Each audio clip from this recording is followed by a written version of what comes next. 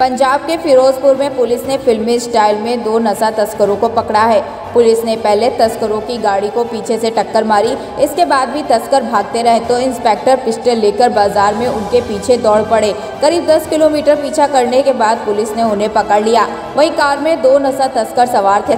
जिनके पास से 10 ग्राम हीरोइन भी बरामद की गई। यह पूरा सीन बाज़ार में लगे सीसीटीवी कैमरे में कैद हो गया। आपको बता दें कि फिरोजपुर की मेन मार्केट के बंसी गेट इलाके से सिटी पुलिस थाने की टीम ने एक स्विफ्ट डिज़ायर कार को रोकने का इशारा किया।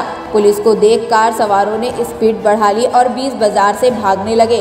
वही थाना सिटी के एसएचओ मोहित धवन ने भी सरकारी गाड़ी से पीछा किया। उन्होंने तस्करों को कार से पीछे से टक्कर भी मारी। इसके बावजूद तस्कर भागते रहे। वह अपने आगे आने वाली हर चीज़ को रौनते रहे, जिसे देखकर पुलिस दाएँ बाएँ करके फायरिंग करने लगी। इसके बावजूद भी वो भागते रहे। तो वही पुलिस टीम ने तस्करों का पीछा नहीं छोड़ा। करीब दस किलोमीटर पीछा करने के बाद पुलिस ने आखिरकार उनको पकड़ ही लिया। आपको बता दें कि उन दोनों तस्करों का नाम मान सिंह और राजवीर सिंह है। वही तलाशी लेने पर उनसे 10 ग्राम हीरोइन भी बरामद हुई।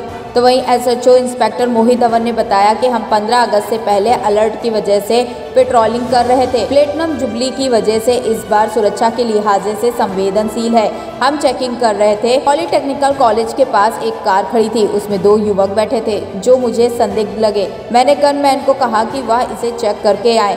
तभी गनमैन ड्राइवर साइड गए और युवक से पूछताछ शुरू कर दी। इतने में युवकों ने गनमैन को धक्का दिया और दरवाज़ा बंद करके दोनों भाग निकले।